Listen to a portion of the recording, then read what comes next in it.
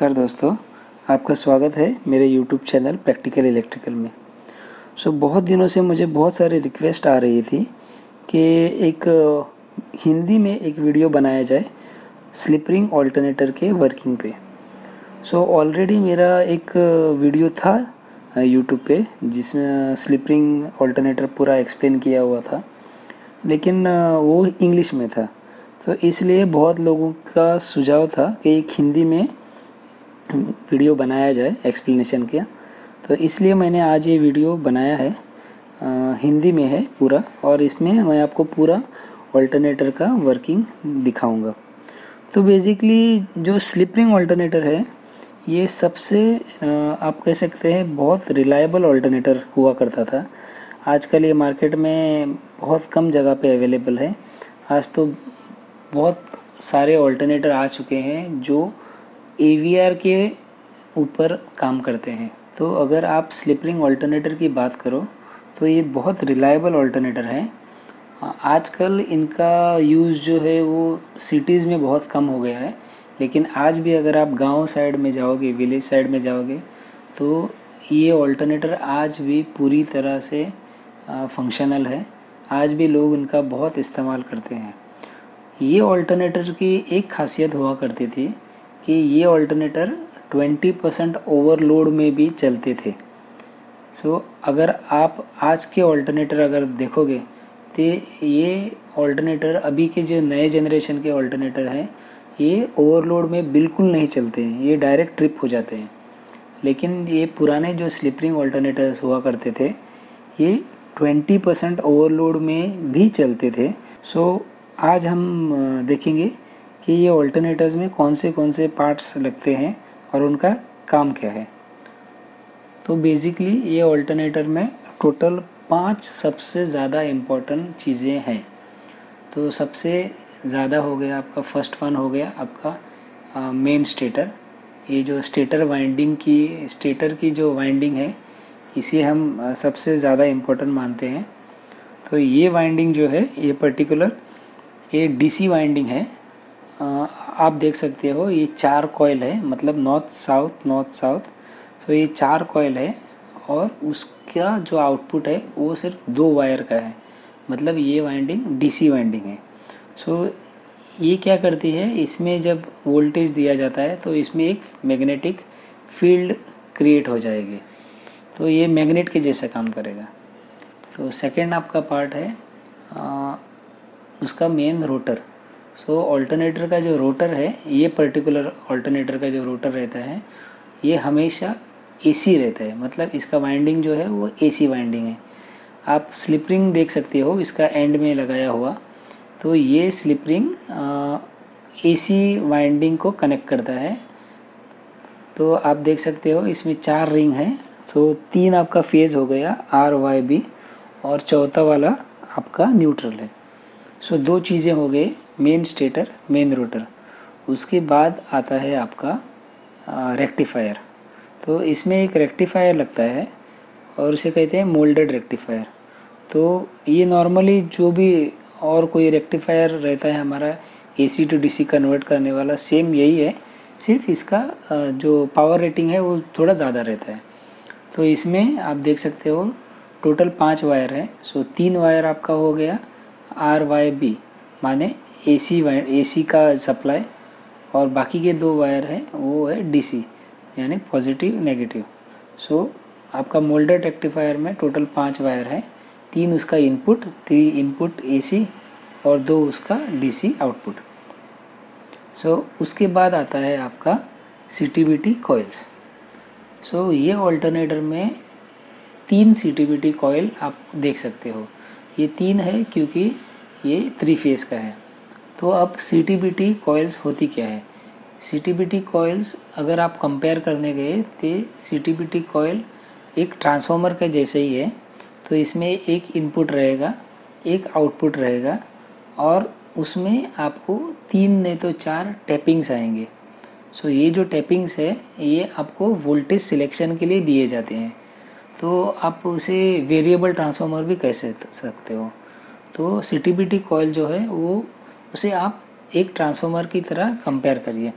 तो उसमें एक इनपुट रहेगा, एक आउटपुट रहेगा और वोल्टेज सिलेक्शन के लिए तीन, नहीं तो चार, नहीं तो पाँच, उसमें टैपिंग रहेंगे आपके डिज़ाइन के हिसाब से।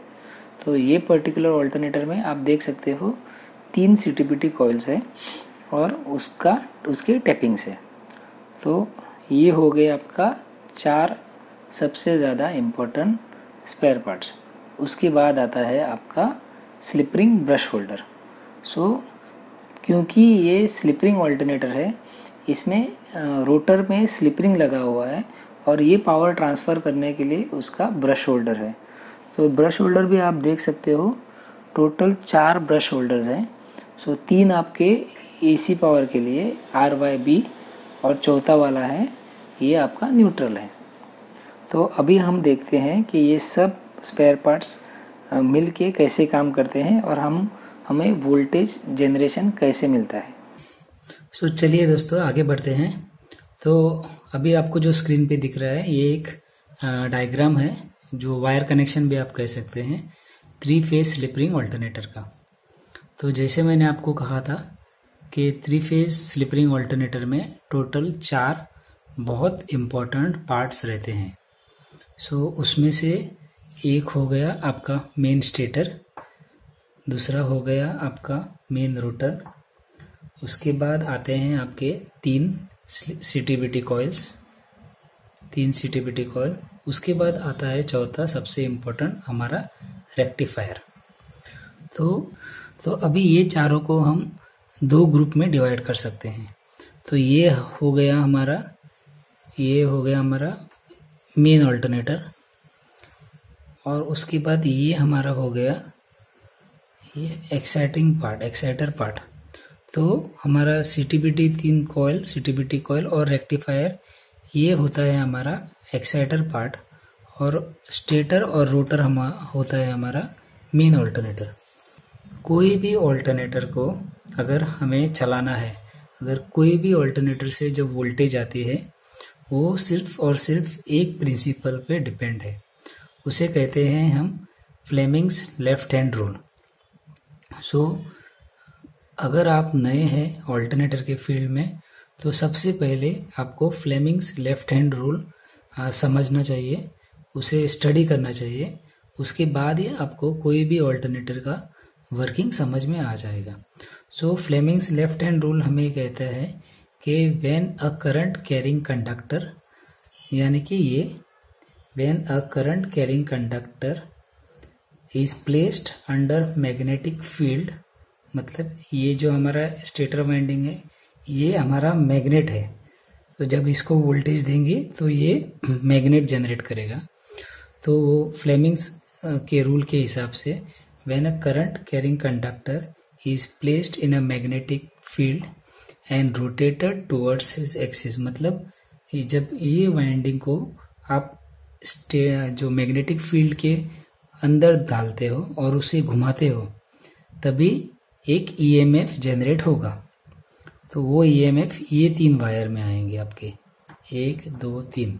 सो फ्लेमिंग का रूल कहता है when a current carrying conductor is placed in a magnetic field and rotated towards is axis it will generate an EMF तो ये यहाँ पे आपका ईएमएफ e मतलब वोल्टेज जनरेट हो जाएगा। तो इसी रीज़न की वजह से आप कोई भी ऑल्टरनेटर ले लीजिए पुराना मॉडल हो जाए नया मॉडल हो उसमें दो चीज़ें कॉमन रहेंगी एक रोटर और एक स्टेटर सो so, दोनों में से कोई भी एक पार्ट एसी वाइंडिंग रहेगा और दूसरा पार्ट डीसी वाइंडिंग रहेगा। तो क्योंकि एक कंडक्टर चाहिए जो करंट कैरी कर सकता है और दूसरा एक मैग्नेटिक फ़ील्ड चाहिए। तो हमारे ये मॉडल में, ये जो आज का टॉपिक है, उस टॉपिक के मॉडल में हमारा मैग्नेटिज्म का काम ये करेगा, जो हमारा स्टेटर वाइंडिंग है, और जो आप हमारा करा कंडक्टर का काम है, वो हमारा ये ये रोटर वाइंडिंग करेगा। तो क्या होगा? As per Fleming's left hand rule जब भी रोटर स्टेटर में घूमेगा तो पूरा 220 वोल्टेज नहीं आएगा, ना ही 415 वोल्टेज आएगा। ये पॉसिबल नहीं है, क्योंकि हमारा जो आरपीएम है, वो मैक्सिमम 3000 आरपीएम है। तो क्या होता है, जब स्टेटर रोटर के बीच में अंदर घूमता है तो एक छोटी सी वोल्टेज जनरेट होती है, और वो वोल्टेज यहाँ पे आती है। वो कभी भी 220 या 415 नहीं रहेगी। उसे 220 या 415 पे लाने के लिए हमें ज़रूरत है हमारे एक्साइटर यूनिट की।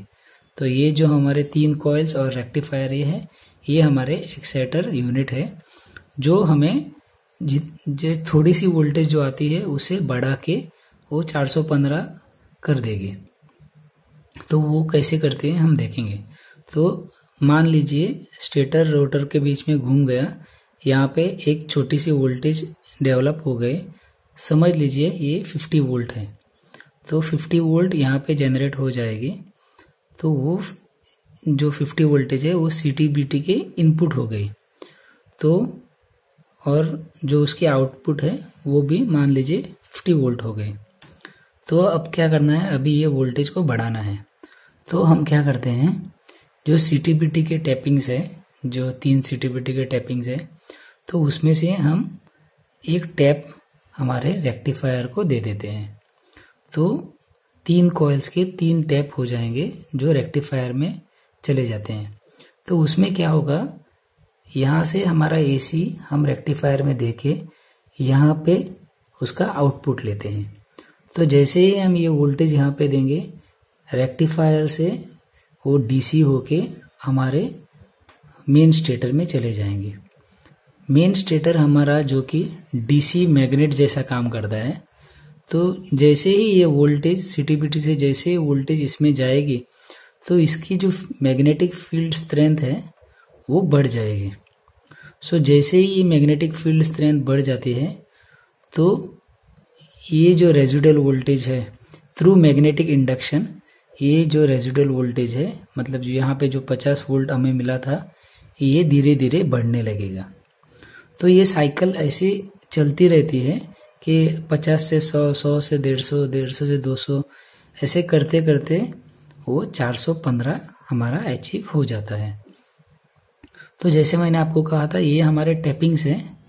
तो अगर आप, अगर आपने ये फ़र्स्ट सिलेक्ट कर लिया, तीनों फ़र्स्ट सिलेक्ट कर लिए तो यहाँ से कम वोल्टेज रेक्टिफायर में जाएगी। वहाँ से जो डीसी होगी, वो कम वोल्टेज रहेगी और यहाँ पे मैग्नेटिक जो फ़ील्ड जनरेट होगी, उसकी मात्रा कम हो जाएगी। तो जैसे जैसे हम ये टैपिंग्स के सिलेक्शन बढ़ाते जाते हैं, यहाँ पे उसका मैग्नेटिक फ़ील्ड का स्ट्रेंथ है, वो बढ़ते जाता है। यहाँ ये जब मैग्नेटिक फ़ील्ड बढ़ता है, तभी हमारी जो ईएमएफ e जनरेशन है, वो बढ़ जाती है। तो इसी कारण के वजह से ये सी में हमें ये ऑप्शन दिया गया है। तो अगर हमें वोल्टेज बढ़ाना है तो ये टैपिंग्स हम बढ़ाते जाएँगे। अगर घटाना है तो ये घटाते जाएँगे। तो जैसे हम इसको बढ़ाएँगे, हमारा रेक्टिफायर से जो आउटपुट जाएगा, वो ये फ़ील्ड स्ट्रेंथ को बढ़ाएगा। और जैसे ये फ़ील्ड स्ट्रेंथ बढ़ेगा, हमारा जो मैग्नेटिक फ्लक्स है, वो ज़्यादा कट होके यहाँ पे हमें ज़्यादा ईएमएफ जनरेट हुआ मिल जाएगा। सो so, वो हिसाब से हमें यहाँ पे हमारा आउटपुट मिल जाता है। तो फ्रेंड्स ये पूरा एक वर्किंग है स्लिपिंग ऑल्टरनेटर का। ज़्यादा कॉम्प्लिकेटेड नहीं है बहुत बहुत ही इजी है। सिर्फ़ आप इस दोनों इस चारों पार्ट को दो जो चारों स्पेयर पार्ट्स हैं उनको दो ग्रुप में बांट दीजिए। हमारा ये दो हो गया मेन ऑल्टरनेटर और ये उसका एक्साइटर यूनिट। तो जो भी हमें वोल्टेज, डिजायर्ड वोल्टेज चाहिए, वो हमें ये टैपिंग बढ़ाने से मिल जाता है। सी का टैपिंग बढ़ाने से मिल जाता है। जैसे हम वोल्टेज बढ़ाते हैं, हमारे रेक्टिफायर में ज़्यादा वोल्टेज डेवलप हो जाती है, जो डीसी होके हमारा मेन स्टेटर का मैग्नेटिक फ़ील्ड बढ़ा देती है। तो फ्रेंड्स, ये हो गया हमारा पूरा एक्सप्लेनेशन स्लिपरिंग ऑल्टरनेटर के बारे में। अगर आपको कोई भी क्वेश्चन है तो आप मुझे कमेंट में भेज सकते हो। अगर वीडियो पसंद आए तो लाइक और सब्सक्राइब ज़रूर कीजिए। Thank you very much